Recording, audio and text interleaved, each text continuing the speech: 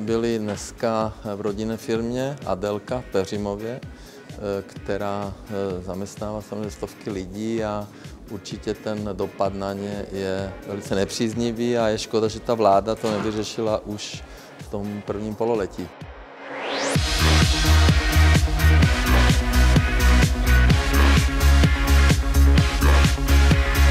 Potom jsme byli u druhé firmy Pretol, ty v podstatě mají biznis, eh, karosářská firma, pomáhají i na dálnici, když nějaká nehoda, mají také speciální mechanismy.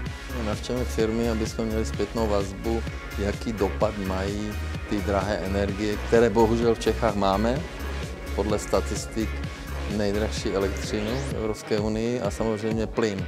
No a potom jsme měli setkání s občany, Velké Meziříčí a tady Třebíč.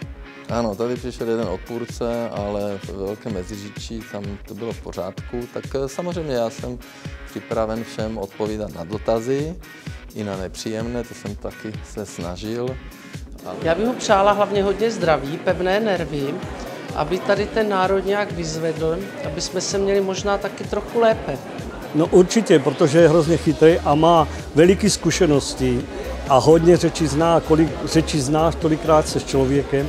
Já mu přeju hodně zdraví a aby to všecko vydržel, protože těch nepřátel má moc, ale my vždycky stojíme za ním a budeme dál.